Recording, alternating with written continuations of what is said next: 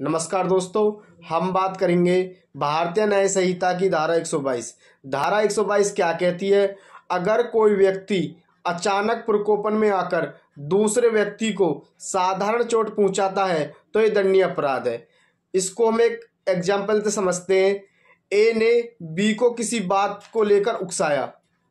B ने उस उकसावे में आकर ए को थप्पड़ मार दिया। बी ने इस सेक्शन में अपराध किया।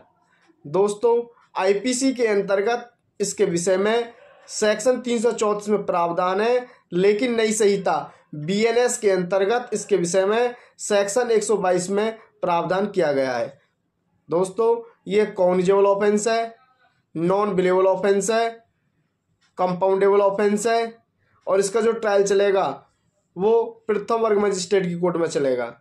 और इसमें जो दंड का प्रावधान है वो मैक्सिमम वन मंथ की सज़ा का प्रावधान है। साथ में पाँच हज़ार रुपये जुर्माना का प्रावधान है। दोनों से दंडित किया जाएगा। धन्यवाद।